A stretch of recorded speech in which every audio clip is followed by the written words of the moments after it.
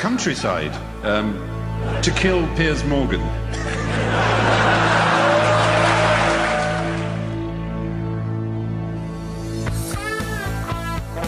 a share tipping scandal on his paper. Private Eye wrote about um, the suggestion that the editor shouldn't really buy shares in a company which his city pages were tipping. It was a sort of small matter of ethics. I met him in a mirror newsroom where people go to report doom and gloom. I sat down there and so began my employment with a charmless man. He purchased Big Glen in a major play, like nothing more than outing someone gay. You'd think he'd know how to ride a Segway, but hypocrisy filled every day. Na na na na na na na na na na na na na na na na to help him cope and never mope. His fans he'd hope that they'd respect him, but Clarkson decked him. He starred on Have I Got News, but he got screwed when he attempted to be offensive the model of a charmless man. Na na na na na na na. Na na na na na na na na.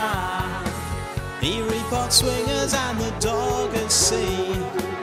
Explains it's all done for morality. I begin to see his nasty side. This man claimed his love had something to hide. Na na. Na na na na na na na na. His talk was sweet and he did tweet, but sugar bee through walls on Twitter, numbers following, and yet he tried so hard to win. He's just so keen for you to like him, but no one's buying him. And when you put it all together, he's the Morgan of a charmless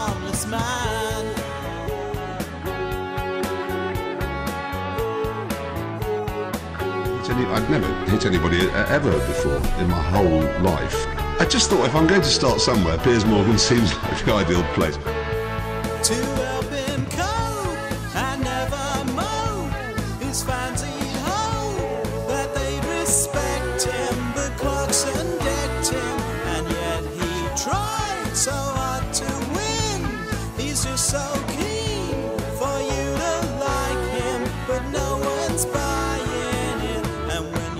it all together, he's the model of a charmless man. Na na na na na na na na na na na na na na na na na na